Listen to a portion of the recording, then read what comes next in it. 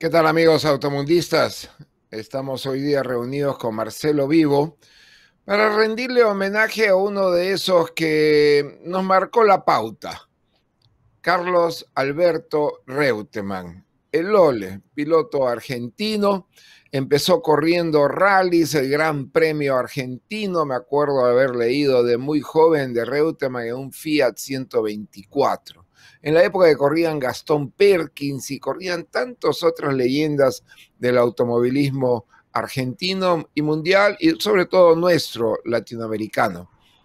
Estamos con Marcelo Vivo y extender nuestro sentido pésame, especialmente a Cora Reutemann, eh, su hija, quien nos ha mantenido informados a todos de cómo ha ido esta, estas últimas, esta última etapa, estas últimas vueltas de Carlos Alberto Reutemann en Santa Fe, en Argentina. Cora Reutemann, si estás viendo esto, vaya nuestro sentido pésame. Y sé lo mucho que has estado cerca de este valioso, fuerte, eh, con un valor enorme que se ha peleado todo lo que ha podido en los últimos días.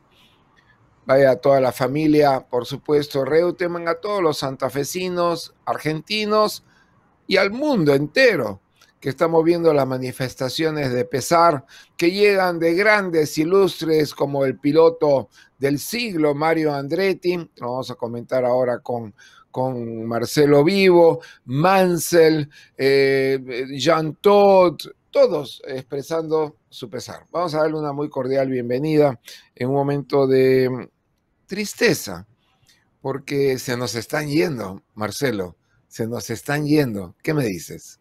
¿Qué me decís? ¿Cómo Jorge? Eh, lindas palabras la tuya para, esta apertura. Eh, sí, es cierto, se va terminando una generación de hombres que marcaron una historia en la Fórmula 1, en una Fórmula 1 peligrosa, en una Fórmula 1 mortal, en una Fórmula 1 donde eh, el accidente generalmente tenía consecuencias muy serias.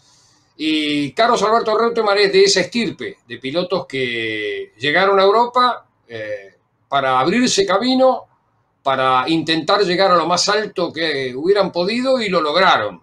Y ahí está en esa foto con su hija, un joven Reutemann, cuando prácticamente despuntaba sus primeras armas en el automovilismo este, internacional. Y sí, eh, uno está triste, pero al mismo tiempo eh, uno recuerda los buenos momentos, ¿viste? Uno a veces una vez se dice, vamos a celebrar la vida de alguien, eh, recordándolo en sus momentos más brillantes, en sus eh, situaciones más difíciles. Y en mi caso particular, para mí de alguna manera se termina una etapa, porque yo crecí siguiendo los pasos de pilotos como, como Carlos Reutemann, así como las generaciones anteriores tuvieron a Juan Manuel Fangio como el referente, la generación mía, los que ya tenemos unos cuantos años, crecimos en nuestra juventud, en nuestra adolescencia, prendidos a la televisión blanco y negro todavía, cuando las transmisiones no tenían la precisión ni la exactitud que tienen hoy.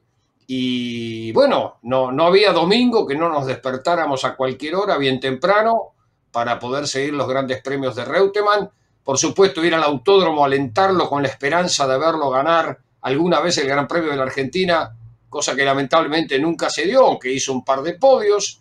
Siempre teníamos la esperanza de que el año que viene puede ser.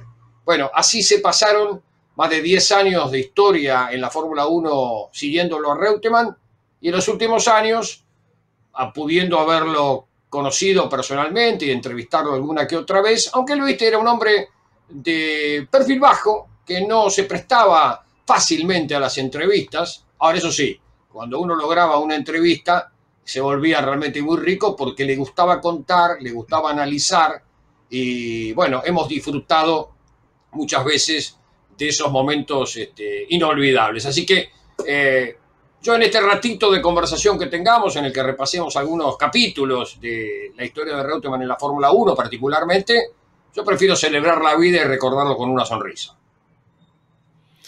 Emerson me contó, me dijo George, Emerson Fittipaldi, el doble campeón mundial. Ontem estaba falando con, con Reutemann, con, eh, para ellos era Reutemann. y hemos terminado ficando hasta cuatro horas de la mañana falando. claro. ¿Qué historias venían ahí? ¿Te acuerdas de este? ¿Te acuerdas de otro? Ahí estoy viendo a Andrew Marriott, que le decía Andy Pandy, le decía, Reutemann le llamaba Andy Pandy, a Mario, que era el que hacía las transmisiones de, esa época hasta hoy día, y Reutemann, em, le llamaba Andy Pandy, me acuerdo. Entonces, Reutemann, piloto argentino, él sale eh, de, rally, sale de correr el Gran Premio Argentino. El rally, eh, creo que tú me vas a poder, vos me vas a poder dar, Marcelo, un poco más. se dio una, esta, foto que estamos haciendo, viendo allí, es 1980, rally de la República Argentina entre Tucumán y Catamarca, en el norte argentino, cuando el equipo Fiat Abarth oficial lo convoca junto a Walter Roll para correr ese rally de Argentina, cuando él todavía era piloto activo, año 80, estaba en plena este, actividad en Fórmula 1 y bueno, termina tercero y es todavía hasta hoy el único piloto con historia en Fórmula 1 que participando en un rally mundial termina en el podio. No hubo ningún otro que lo hubiera logrado. Eh, él nace en este tipo de carreras en el año 66, sorprende a los especialistas en la montaña eh, en una eh, carrera muy, muy típica de aquellos años, la Carlos Paz, mira Clavero Carlos Paz, y con un Fiat 1500, un auto de baja cilindrada, este, bueno, hace los tiempos casi a la par de los eh, especialistas, termina ganando finalmente esa carrera, y eso lo hace este, sobresalir de tal forma que, es más, hoy, hoy lo decía este, al principio ni, siquiera nadie sabía muy bien cómo se pronunciaba el apellido o cómo se escribía. ¿Viste? Le agregaban una M, le agregaban una N, llegaron hasta decirle Reutermann, está al principio, hasta que finalmente, eh, bueno, se pudo saber cómo se escribía y cómo se pronunciaba este, el apellido de, de este inolvidable piloto. Y esta foto es de 1985, cuando Jean Todt lo convoca a integrar el equipo Peugeot con los Turbo 16, con los 205 Turbo 16, que claro, Reutemann cuando hace las primeras pruebas, eh, claro, perdían la comparación a sus compañeros de equipo, Timo Salonen era el número uno del equipo en aquel momento, y le dijeron, Carlos, vos acelera que el auto no se sale de la ruta. Y, al principio como que no lo creyó mucho. Dice, yo con este auto me voy a terminar matando, porque este, el auto era realmente muy potente, eran los grupos B de, de rally mundial en ese momento. Y bueno, al final hizo lo que el equipo le dijo, vos acelera lo que el auto se queda en la ruta, y efectivamente se quedó en la ruta y terminó también tercero en este rally de Argentina. Ahí está otra vez con el, con el Abarth, con Mirko Perisuti, que era el navegante italiano que tenía sentado a la derecha. Mirá el público como a la vera de la ruta este, agitaba el puño dándole aliento al piloto argentino. Estos fueron esas dos incursiones que en los últimos años hizo Reutemann en el Rally Mundial. Bueno, recordando también a Jim Clark, que ganó el Rack Rally. Jim Clark corría, al igual que Reutemann, corría todo. Y luego de eso le arman el equipo de Fórmula 2 con los Brabhams, que eso lo arma el ACA, el Automóvil Club Argentino, supongo que con el apoyo del gobierno argentino, porque hay una foto ahí que es clásica con Perón y con, y con eh, la primera dama. Entonces, eh, que está por ahí eh, esa foto, si podemos irlas pasando y viendo, yo creo, Argenis, que podemos empezar ya a lo que fue Reutemann en las fotos, un hombre que recordaba mucho a Alfonso de Portago, al marqués de Portago, que, y tú me estabas mencionando, vos me estabas mencionando a Menditegui, que, eh, las mujeres, las mujeres tomaron una prioridad. los, mira, este es el día del debut, esto es Hockenheim. El 12 de abril de 1970, Reutemann cumplía ese día 28 años. Ese día debutó en Europa. Y el debut, con el único BT-30 que pudieron tener para esa carrera, porque se demoraron bastante en la entrega de los autos. El otro auto lo iba a correr Benedicto Hugo Caldarela, que fue un piloto muy destacado en el motociclismo internacional, fue campeón y se sumó como compañero de equipo al Lole porque habían sido campeón y subcampeón de la Fórmula 2 nacional. Entonces el equipo del ACA con estos Brabham fueron a correr este, a Europa en la temporada del 70. Bueno, el debut de Reutemann con la pista húmeda de Hockenheim, bueno, no pudo tener un debut, yo te diría que más accidentado, porque se llevó por delante al campeón, que era Jochen Rindt, nada menos. O sea, un debutante lo sacó de pista al indiscutido rey de la Fórmula 2, que era Jochen Rindt. Ese fue el debut de Reutemann en Europa, chocando con Jochen Rindt, nada menos. Y puedes ver en la parte delantera lo que parecería un par de aleroncitos. No es otra cosa que le han sacado los dos eh, aletas del morro delantero. Claro, así es. Eso es lo que quedó de la trompa, quitados los, los flaps. O sea, el auto completamente descargado en un Hockenheim con larguísimas rectas y apenas un par de chicanas. Bueno, esa era la época en que Reutemann comenzó su campaña en Europa si no recuerdo mal, el campeón del 70 de la Fórmula 2 fue Claire Regazzoli. Esto lo estoy diciendo de memoria, pero ese fue el estreno de, Carlos, ahí está, cuando comenzaba sus, sus primeros este, pasos en la, en la temporada internacional. Vos decías recién ahí la petrolera argentina. Reutemann es el último ejemplar o el último eh, producto de un país puesto a lanzar un piloto al exterior, cosa que hoy ya no sucede. Eh, siempre nos preguntamos en la Argentina, ¿cuándo tendremos un piloto de Fórmula 1? Y no hay respuesta, porque eh, aquella política del Estado Nacional a través de IPF, la petrolera estatal, a través de la, del Automóvil Club Argentino como entidad rectora, hicieron que Reutemann pudiera proyectarse hacia, hacia Europa y bueno, después sí, continuar su carrera, después hacerse su propio camino. Pero el primer paso surge a partir de ese equipo de Fórmula 2 que estábamos viendo en la foto anterior. El Brabham que... Y no había ahí otro, otro piloto que, fue con él, un, siempre Al año siguiente. ¿Quién fue el piloto con apellido alemán? Ruesch. Ese. Carlos, Carlos En el 71, al año siguiente, cuando utilizan los BT-36, el modelo siguiente de Fórmula 2, eh, bueno, Reutemann termina siendo eh, subcampeón europeo detrás de un arrollador Ronnie Peterson, que corría con el March, aquel amarillo, recordarás.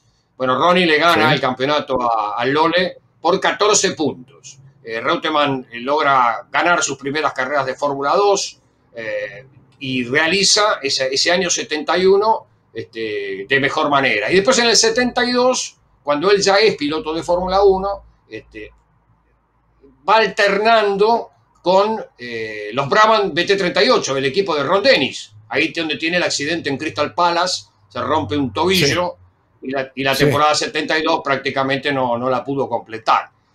Y este es el último auto que condujo, digamos, en temporada completa. Eso es la salida de la curva de los búhos, eso es Buenos Aires. con el FW07C que es el auto con el cual este, Reutemann hizo su último año completo de Fórmula 1, que es el 81. Ese auto fue es el auto que yo corrí, ese mismo auto con el alerón delantero, eh, todo corrido, que también fue la especificación que usaron para, para Long Beach y la famosa curva de Lombú que ahí con la curva de la confitería y luego viene ah. Ascari que ya te lleva ya a la última. Lindo circuito. Esa es la salida del mixto que te trae de vuelta hacia la bajada del tobogán y después a la horquilla y después a la recta principal. Estás en la, en la mitad final de la vuelta, ¿no? Y todo el público, obviamente, toda Argentina oh. vibrando con este desaparecido hoy día piloto que le estamos eh, rindiendo un eh, póstumo recuento eh, recuento y homenaje a, lo que fue eh, Carlos Alberto Reutemann. Mi experiencia, por llamarlo así, para que puedas continuar luego, Marcelo, mi única experiencia con, con, con el Lole fue que yo era muy amigo con Andy Dawson, y Andy Dawson era el que tenía el equipo de Nissan. Ahí fue donde mm. llevé a Ferreiros, llevé a muchos, a, Ricardo Dazo, a Porcari, al desaparecido Vera, todos los llevé a Andy Dawson, que lo conocí una vez en un evento de Ford, que me llevaron para manejar un auto de rally, eh, Stuart Turner junto con Walter Hayes, me llevaron a probar un auto de rally y me sentaron al costado a, Andy Dawson, que era el piloto de la fábrica, y, Andy me dice, ¿y tú de dónde has salido? Y él fue, por eso fue que termino yo ganando los caminos del Inca con los Nissan y los Datsun ah, de, Andy Dawson. Y eh, no sé si te acuerdas de Viborita, le decían, Viborita. Una de las curvas ahí en el ah. autódromo, claro. La, a la entrada del mixto. Al, periodista, al periodista ah, argentino. No, a Héctor Acosta, claro, sí. Héctor Acosta. Sí, sí, sí, claro. Héctor Acosta, ya fallecido, eh, periodista cordobés, eh, muy amigo de Carlos Reutemann, y el relator que yo más envidio y envidiaré en la vida, porque fue aquel que relató con un nudo en la garganta el triunfo de Reutemann en Monte Carlo en el año 80 con el Williams, con el piso mojado y él con los neumáticos slick haciendo la última docena de vueltas prácticamente a dos por hora entre, entre rails y con el riesgo de perder la carrera en cada curva, porque Monte Carlo no te perdona el más mínimo error. Te pasaste 10 centímetros y la carrera se terminó.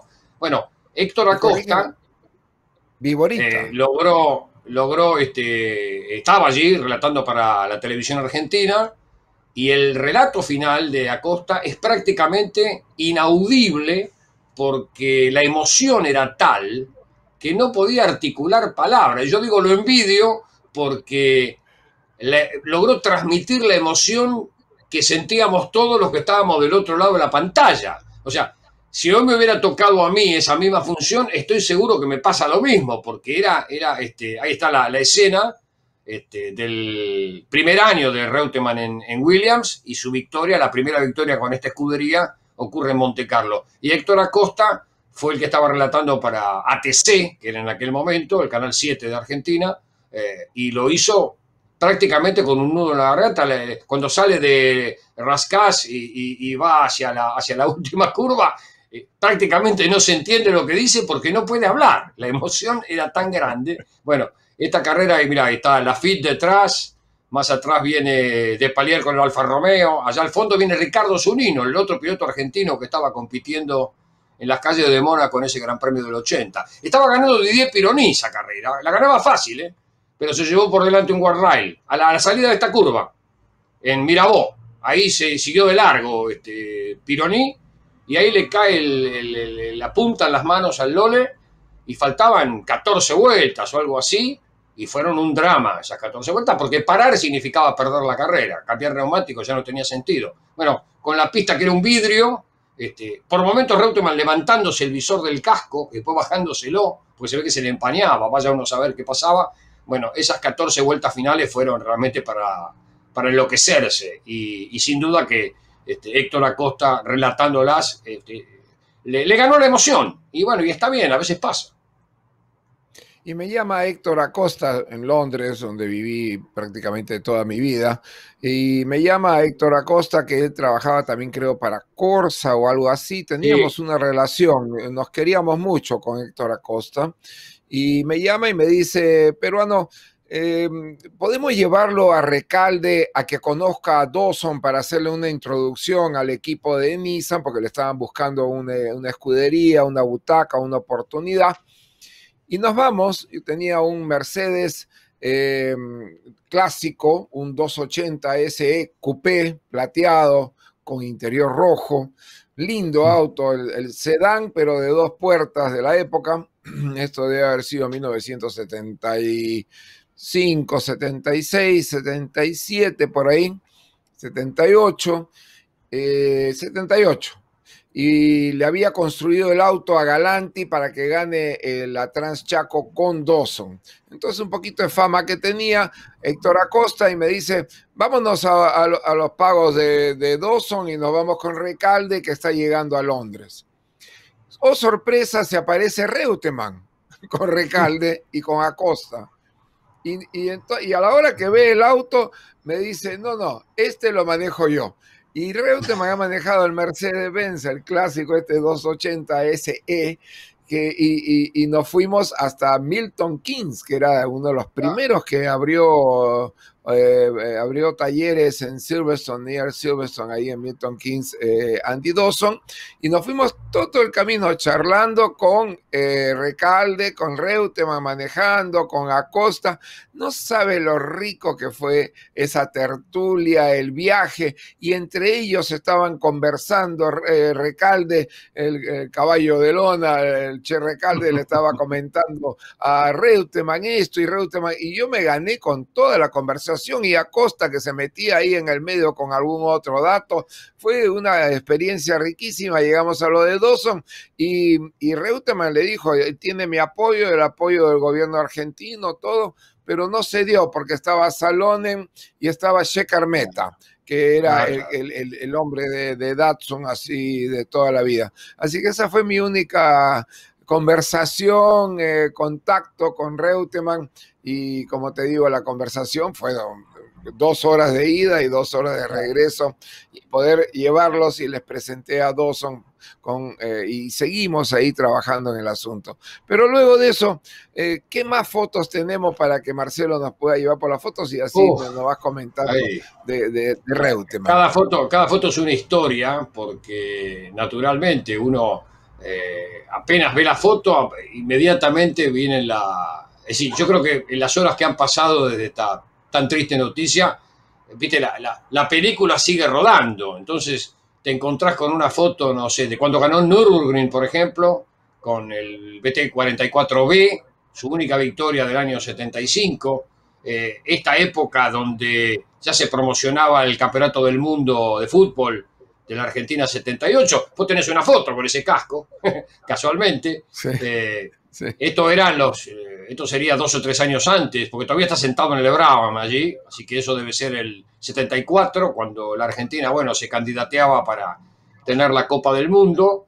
Y bueno, obviamente el piloto argentino que daba la vuelta al mundo, naturalmente llevaba allí la inscripción eh, promocionando el campeonato mundial. Eh, ahí está junto a Nicky Lauda, mira que viene detrás, justo. Eh, ¿Lauda o Regazzoni? Ahora, estoy viendo bien, tenés razón, el 11, es, es Claire Regazzoni, exactamente, no es Nicky. El 12 era Nicky, muy bien, buena vista. ¿eh? Este, y ahí está el, ya el, el Brabham en el segundo año del BT44. Este fue un año que ahí está, eso, eso es Nürburgring, ninguna duda, eso es el Fluxplatz, el salto que tiene el escenario alemán en lo que fue su victoria. Mira, ayer, a veces el destino hace cosas, ayer estaba viendo la vuelta final de carrera de Reutemann en Nürburgring con sonido ambiente. Hay momentos donde el auto, viste que las ondulaciones de Nürburgring son muchísimas, fíjate, un Fórmula 1 saltando, hoy no lo vemos saltar así a, un auto de Fórmula 1.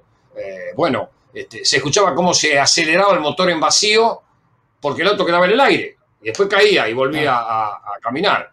Ahí está Lafitte y Nicky, Lauda. Si es el Gran Premio 75. Si puede regresar a la foto anterior, te quiero dar un dato para todos ustedes eh, automovilistas.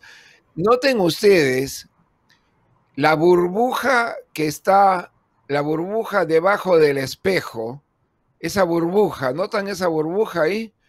Esa burbuja era porque la mano no entraba para hacer los cambios y le tuvieron Gordon Murray, le hizo esa burbuja al auto, pero podemos regresar a la siguiente foto. De claro, en, la Fórmula 1, en la Fórmula 1 de aquella época estaba, estaba eso generalmente para que pudiera pasar el puño del piloto al, empuñar la palanca de cambio, así como esa protuberancia que tiene en el techo el GT40 de Dan Garrett, era porque Dan Garrett era tan alto que no entraba en el auto, directamente. Eh, y se hacían esas cosas. Bueno, mira qué trío allí, Lole, Jacques-Henri Lafitte y Nicky Lauda, un año antes del accidente, esto es el 75 en Nürburgring, en el 76 tiene el accidente Nicky Lauda. Fíjate lo que eran los podios de aquella época. Y tiene ahí el clásico patrocinador, el banco austríaco, que él ah, le pidió un préstamo y se lo dieron, que es esos dos eh, palitroques así, ese es el banco. Y también te das cuenta que han tapado eh, con un negro, han tapado lo de Malboro, porque ya empezaba lo de el, emblema de Malboro está tapado eh, tanto en el pecho como en el brazo también. Sí, sí, sí, le ha puesto un tape ahí, una cinta negra para, evitar que se lea la marca, aunque se ve perfectamente de qué logo estamos hablando, ¿no? Pero, este, y está la corona de laureles, algo que es tan bonito en un podio de Fórmula 1. Este, claro, un día vino Bernie Eccleston y dijo, si me ponen la, la corona de laureles se tapan los patrocinios. Y se acabó la corona de laureles.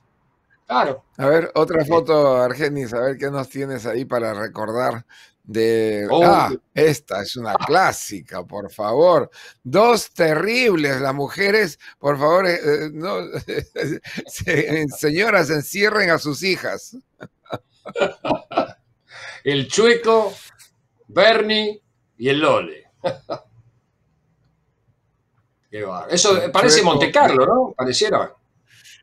Parecería Monte Carlo por la, por la barra. El árbol y la Sí. Sí, no, no parece. Atrás que dice Foncier de. Sí, eso tiene. tiene Por, por atrás puede ver los, avisos. Sí, eso es Mónaco. Y. El, eh, y puedes ver a Bernie Eccleston joven. ¿ah? Sí, sí, claro. Y claro, bueno, este, eh, ahí eso debe ser el año 74 o antes, no, antes, eso puede ser 72 o 73, no mucho más allá de, esos años, porque todavía por el antiflama de, de, Lole, me parece que es ese año. Al chueco, eh. mirándolo con aprecio, lo está mirando de cerca, lo ves que está, y más bien Bernie dice, ¿qué están, qué están conversando acá? A ver, otra, a ver qué nos tiene. Y Bernie con esa camisa que tenía los cuellos redondos. Me acuerdo de la. Eh, ah, Bernie caminaba siempre con, esa camisa con los cuellos redondos. Decía que era su estilo. Bernie joven también, claro. Bueno, ahí, esto ya es. Esto es Buenos Aires. Esto es el Gran Premio de Argentina. Ya veo las cabinas de transmisión. Esa es la, la zona de boxes del Gran Premio de la República Argentina con Damon Hill. Sí, sí. Claro. Damon Hill en el equipo que él corrió, que fue el equipo de Williams. Claro, ganó dos veces el Gran Premio de Argentina Damon Hill, 96 y 97. Dos años seguidos. Perdón, 95 y 96. 95 y 96. A ver, más fotos. Esta foto es clásica. Esta foto tiene una, esta foto tiene una historia tremenda, porque esa es, la, esa es la última victoria de Reutemann en Fórmula 1, su victoria número 12. Una victoria muy triste, porque esta, esta carrera es la carrera más loca del mundo. Esta es la del accidente en la largada con los Arrows. Esto es el Gran Premio de Bélgica, en Solder, eh, non Spa. Reutemann había tenido un, accidente, claro, que mata a Villeneuve eh, un año después, en el 82. Entonces el 81 y Reutemann ahí está muy serio, triste, no festeja, porque él había tenido un desgraciado accidente en la calle de boxes con un mecánico de Osela que se le cruzó en el camino cuando iba saliendo y lo enganchó con la rueda de atrás. Lamentablemente el joven mecánico murió. Reutemann ganó la carrera el domingo, una carrera que fue un caos, lo recordarás, cuando el, mecánico de Arrow se larga a la pista a hacerle arrancar el auto a Ricardo Patrese y viene Siegfried Store y le pega de atrás y lo mete abajo del alerón. Ah, esa carrera fue un desastre. Horrible. La carrera fue un caos. O sea, empezó mal, terminó mal. Lole ganó la carrera. Primer podio de Nigel Mansell en Fórmula 1 es esa carrera. Ah, caramba, ahí está con el Lotus, con el Essex, el Essex Petroleum de, Fíjate que el único que agita la botella de champagne es Lafitte, que estaba con el IG. Mansell estaba en un cumpleaños, porque obviamente, primer podio para un joven piloto como era en ese momento Nigel, y Lole absolutamente reconcentrado y sin ninguna razón para festejar, por más que hubiera ganado, porque el fin de semana había sido muy triste para él. Esa foto, esa foto habla por sí sola. Vale, esta, es fantástica. este, este evidentemente es el despacho de Reutemann en el Senado, y la foto que se ve allí está el general Perón, presidente de la Argentina ese año, María Estela Martínez de Perón, vicepresidenta, además de primera dama, vicepresidenta de la Nación, y el Lole Reutemann, que acababa de perder el Gran Premio de la República Argentina en la última vuelta cuando el Brabham se queda sin combustible, Y el general Perón, que no vio la largada de la carrera, la estaría viendo en la Quinta de Olivos, que era la residencia presidencial. Claro, alguno de sus asesores habrá venido a decirle, general, está ganando el argentino. Falta media hora para que termine la carrera y está ganando el argentino. Bueno, tomó el helicóptero y se fue hasta el autódromo para ser testigo y recibir al piloto argentino ganador.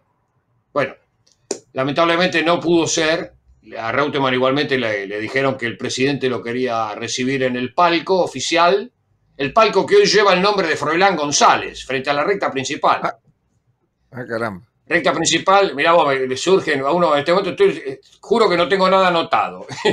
Eh, la, recta principal se llama, la recta principal se llama Juan Manuel Fangio y el palco oficial se llama José Froilán González. Bueno, eh, el presidente. Vos, y yo somos especiales, vos y yo somos especiales que nunca llevamos nada apuntado. Por eso que hablamos de una cosa y hablamos de otro. por eso podemos llegar a pifiar algún dato, ¿no? Pero el presidente. Argenis. Eh, perdón, esa foto con Perón la tienes, con el presidente Perón la tienes. Esta de aquí, ¿quién es ese fulano que está con, con, con Reutemann? ¿Quién otro puede ser, no? ¿Quién? Bernie. no, Bernie Eccleston. Ese es Bernie. Mm. en Argentina también se ve, se ve el. Ah, sí, se ve el cartel. es Bernie. Mirá, fíjate vos las publicidades. Ahí se alcanza a ver, lo podemos nombrar porque ahora igual no existe. Supermóvil, que era el, aceite de IPF. Y a la izquierda de la foto, ves, alcanzás a ver una sigla A y E. Se alcanza a leer. Eso es agua y energía, la empresa estatal de agua de la Argentina.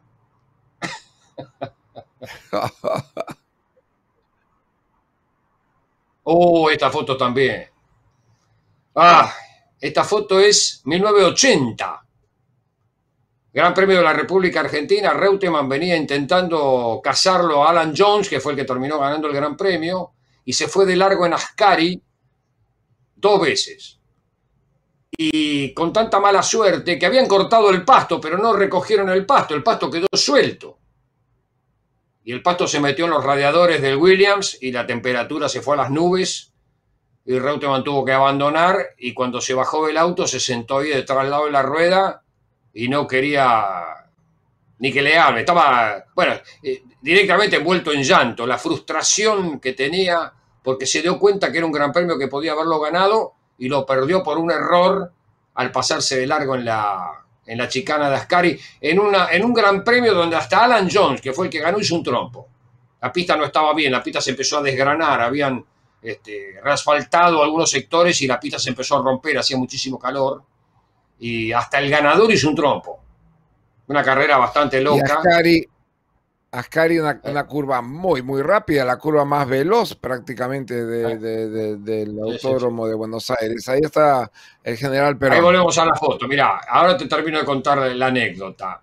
Cuando Perón lo recibe, obviamente, fíjate vos la espalda de Lole completamente empapada. En aquella época, viste que los antiflamas se mojaban la espalda. Eh, claro, no tenía nada para obsequiarle de, como un presente por su buena tarea. En definitiva, lo de Reutemann me pareció muy bueno. Bueno, el presidente extrajo su lapicera personal y se la regaló. Ese fue el regalo que, le regaló la lapicera. Claro. Y cuentan, esto no me consta, pero cuentan los testigos que están allí, ah. varios ministros del Poder Ejecutivo y demás, eh, dicen que Perón, que tenía un cierto sentido del humor, dijo que le iba a dar un subsidio de IPF para que nunca más se quede sin combustible. y Entonces, a pesar de la... sí. Al lado de Reutemann ahí, no, no, me parecía José Froilán, pero no, no es José Froilán, parecía... No. Eh, es, otro personaje bastante oscuro de esa época de la historia argentina, lamentablemente. Este, el que está prendiendo un cigarrillo ahí detrás es Raúl Lastiri, que era presidente de la Cámara de Diputados de la Nación eh, y que fue, este, bueno, dirigente en aquella época, era presidente de la Cámara de Diputados. Así que bueno, esa fue la ceremonia de saludo, digamos, de Lole con el presidente. Y mirá acá, bueno, acá tenemos una, selección, ¿no? Estos, son los, los, tres pilotos más grandes que dio la Argentina en su historia en la Fórmula 1. ¿no? Ese es el podio de todos los tiempos. Sí. Ese es eh, Fangio, José Froilán y Reutemann abajo. Y ah. arriba con la bandera argentina y al costado ah. con, el chueco. En un taller, obviamente, porque hay un balón de, oxígeno ahí para soldar en la parte de atrás. Mira, esa otra foto uno, que tienes? Uno no, uno no quiere, no quiere, no quiere decirlo, pero lo tiene que decir. Ahora están los tres juntos en el podio, los tres. A ver otra fotito antes de despedirnos, porque ya habíamos quedado en que con esto en realidad es un festejo de la vida de Carlos Alberto Reutemann, el piloto argentino que acaba de fallecer, dos veces eh, gobernador de la provincia de Santa Fe, eh, un piloto argentino que conmocionó al mundo porque todos pensábamos, ahí lo tenemos en la foto con el Senado, todos, todos vivimos a Reutemann y así como vivimos a tantos otros grandes, así que lo tenemos en el recuerdo y ha peleado, ha luchado.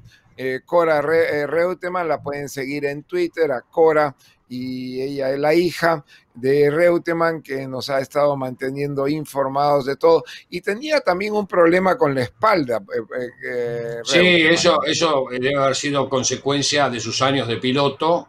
Eh, cuando, bueno, vos lo sabes muy bien, Jorge, los Fórmula 1 no tienen suspensión, te castigan la espalda de una manera atroz y, y, este, los discos de la columna pasan a ser este, prácticamente aplastados, ¿no?